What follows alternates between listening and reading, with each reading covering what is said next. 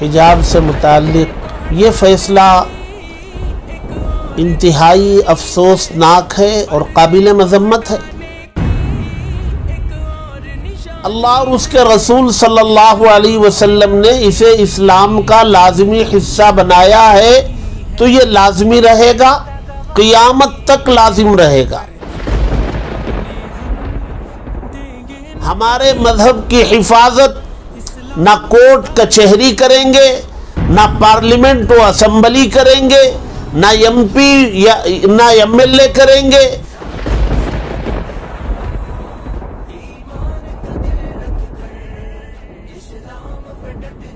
बसमीम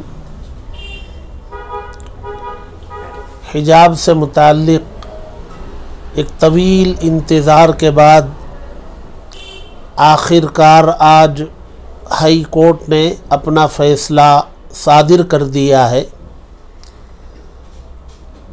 ये फ़ैसला इंतहाई अफसोसनाक है और काबिल मजम्मत है।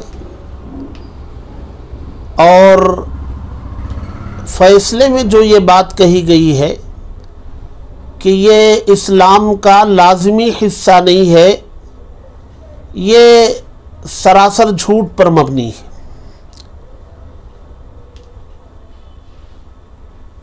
हिजाब ये इस्लाम का लाजमी हिस्सा है। और किसी के झूठ करार दे देने से और किसी के गैर लाजमी करार देने से वो गैर लाजिम नहीं हो जाता है। अल्लाह और उसके रसूल सल्लल्लाहु अलैहि वसल्लम ने इसे इस्लाम का लाजमी हिस्सा बनाया है तो ये लाजमी रहेगा, क़ियामत तक लाजिम रहेगा। अगर इसको गैर लाजिम कहा जाए, कहने वाले अपने हों, गैर हों, कहने वाले कानून की ज़बान में कहें, या गैर कानूनी ज़बान में कहें, जो भी अंदाज अपनाएँ, उनके कहने से लाजमी हिस्सा, लाजमी चीज़ गैर लाजिम नहीं हो जाती।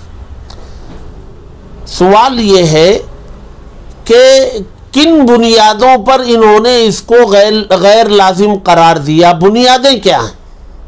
हालाँकि उनके सामने पूरी तरीके से वाजे किया गया था, कुरान की आयतों को कोड किया गया था, और सारे दलाइल पेश किए गए थे।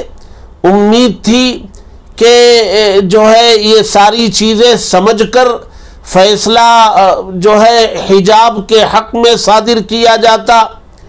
उम्मीद ये भी थी कि इस फैसले का असर इस मुल्क में बसने वाली एक ख़ास कम्युनिटी की बहुत बड़ी तदाद, तलबा की बहुत बड़ी तादाद पर ये फैसला असरअंदाज होगा।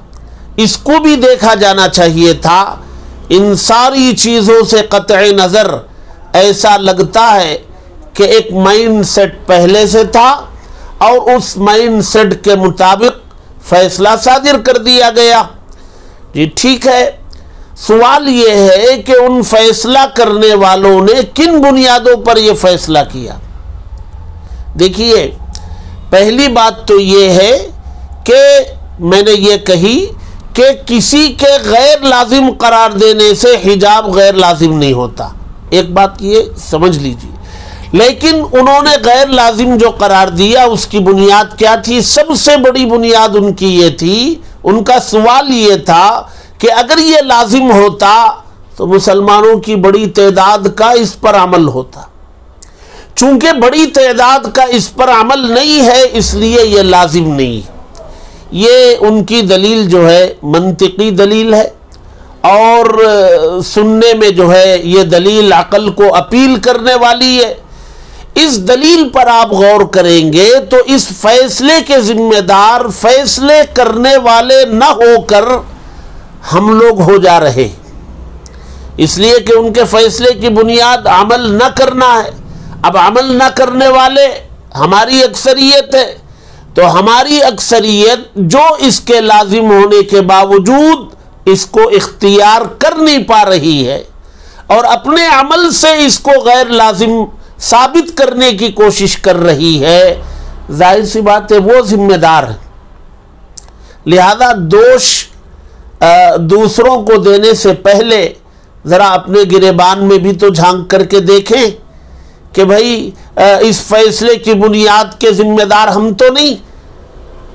तीसरी बात, देखिए, अपने मज़हब की हिफाजत इस मुल्क में हमें खुद को करनी। हमारे मज़हब की हिफाजत ना कोर्ट कचहरी करेंगे, ना पार्लियामेंट व असम्बली करेंगे, ना एमपी या, ना एमएलए करेंगे। इसकी हिफाजत मज़हब के मानने वालों को करनी। मज़हब इस्लाम की हिफाजत इस्लाम के पैरोकारों की ज़िम्मेदारी है और ये जल से जुलूस से, नारेबाजी से, एहतजाज से मज़हब की हिफाजत नहीं होगी। मज़हब की हिफाजत होगी मज़हब को पढ़ने और उस पर अमल करने से।